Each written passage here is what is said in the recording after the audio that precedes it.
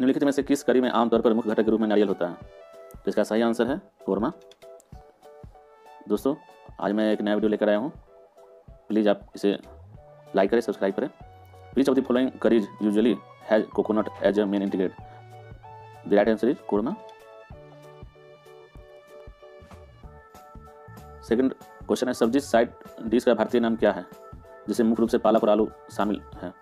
तो ये है आंसर साग आलू।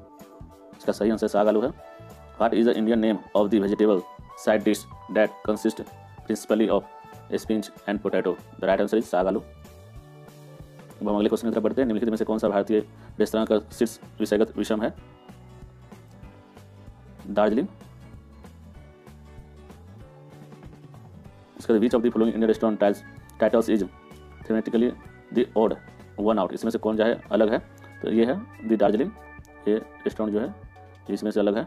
चौथा है कोलिंस डिक्शनरी ने किस व्यंजन का वर्णन मांस या मछली के साथ मिश्रित चावल, अत्यधिक स्वाद और रंग से बनाए भारतीय व्यंजन के रूप में किया है? तो इसका सही आंसर है biryani.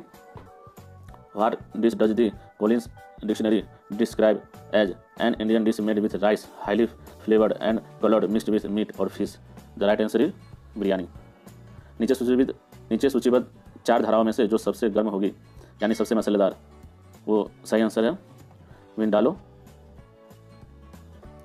of the four curries list below which would be the hottest most spicy the right answer vindaloo Bombay duck क्या है? इसका सही आंसर है लिजर्ड फ़िश का सूखा और नमकीन मांस। ये बॉम्बे डक कहलाता है लिजर्ड फ़िश का सूखा और नमकीन मांस। What is a Bombay duck the right answer is the dried and salted flesh of the lizard fish निम्नलिखित में से एक भारतीय रोटी का प्रकार नहीं है। तो आप देख रहे हैं, पराठा, चपाती, पूरी जो है, रोटी का प्रकार है, लेकिन ये जो मटर्ज ये जो है सेकंड ऑप्शन ये रोटी का प्रकार नहीं है। One of the following is not a type of Indian bread which one the right answer is option B मिटजा इनमें से किस व्यंजन को प्याज पर भारी कहा जा सकता है? Do pyaza. The right answer is do pyaza. Next आगे बढ़ते हैं। Which of the dishes could be said to be heavy on the onions the right answer is do pyaza भारतीय मेनू पर मुर्गी क्या है? तो इसका सही आंसर है मुर्गी।